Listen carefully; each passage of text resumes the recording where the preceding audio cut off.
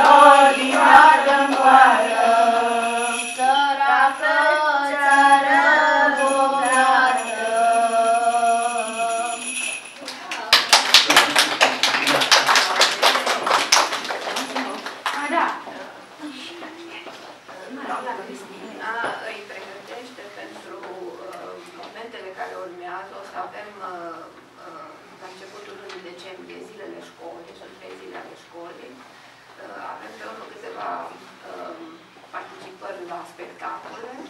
Vine Crăciunul și atunci urmează perioada de colinde, așa că suntem în pregătire în perioada asta și am prezentat câteva trânturi din ceea ce a pregătit doamna.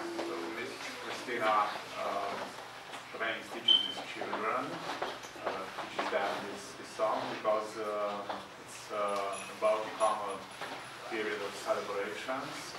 Uh, they will participate to a few uh, Uh, Da, sunt uh, întâlniri, de exemplu, în mari personalități culturale, Dan Puric o să vină aici și atunci în cadrul respectivului spectacol, da, vor avea și un moment, vor participa la uh, uh, diverse uh, prezentări de colinde, grupurilor sale și atunci avem și noi momentele noastre, plus serbarea propriu-zise de Crăciun și de zilele they școlii. will they, uh, they, they will participate to uh, certain events and they will have they will play their, their part in these event, in these events but also uh, the days of the school are following uh, the, the, next couple of uh, weeks. And uh, of course, there is the celebration of the Christmas with carols mm -hmm. and all the specific traditional songs. So was that uh, Nu, nu, asta n-a fost chiar o colindă. Uh, aș dori să uh, interpretăm și o colindă. Would you like to hear a carol? Mm -hmm. Da. Haideți să ne gândim ce colindă să-i cântăm. Da.